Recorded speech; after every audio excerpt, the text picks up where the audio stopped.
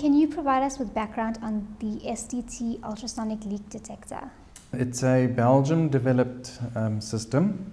It consists of various sensors, um, a device that's used to um, detect that signal, process it, and amplify it so that you're able to identify leaks, any compressed gas leak, um, corona in electrical equipment, tightness of um, for example, a windscreen or door seals, boot seals in motor vehicles, leaks in valves, and also um, proper greasing of, uh, of, of bearings and in motors, and uh, measuring the wear that's taking place in um, rotating equipment like a, a bearing in a motor.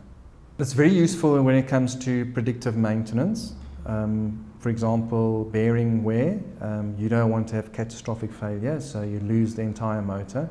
So if you are able to measure wear that's taking place and then do the maintenance prior to that, there's a significant benefit to that.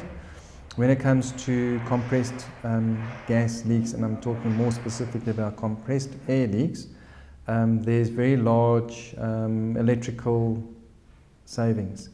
Um, in South Africa, there's you know probably 30 to 50 percent um, losses of compressed air due to leaks, which results in substantial electrical energy losses and, and costs.